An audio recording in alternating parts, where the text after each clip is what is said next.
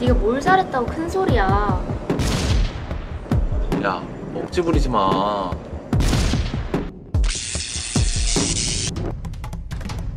안녕하십니까 시청자 여러분. 지금부터 김 작가와 디퓨저의 대결 시작하겠습니다.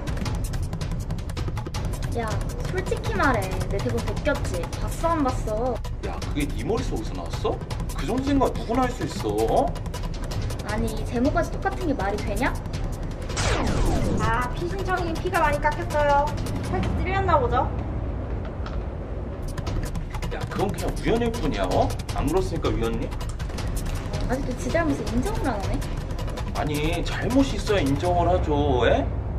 아, 신청이 열받았나 본데요. 잘못이 없다고? 너는 여우가 테를 쌈장에 찍어 먹고 나는 소금 후추에 찍어 먹는 거 빼고 싹 다 똑같잖아. 이게 우연이라고? 개풀 뜯어먹는 소리 하고 있네. 아니, 나는 이거 본 적도 없다니까? 야, 제목 똑같고 똑같은 작품이면 사람 이름 똑같으면 똑같은 사람이냐? 너 여기서 나랑 분쟁 조정 안 하면 법정 가서 크게 후회할걸? 아, 신청이 필살기에 피 신청이 크게 당했어요.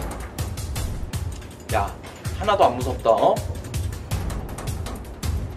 아, 이 정도 내용이면 합의하시는 게 좋거든요. 여기서 조정 못하시면 법정까지 가셔서 돈 낭비, 시간 낭비 하실 텐데 이쯤에서 합의하시는 건 어떨까요? 그렇지? 힘 빼지 말고 가자. 그래, 어떻게 보상을 줄까? 그 전에 내 대본을 벌어들인 주는 수익 그리고 앞으로 발생할 수익만큼 보상해줘. 그래, 알았다. 시간을 시차고 있어요. 건강한 제작자가 되다는 증거겠죠?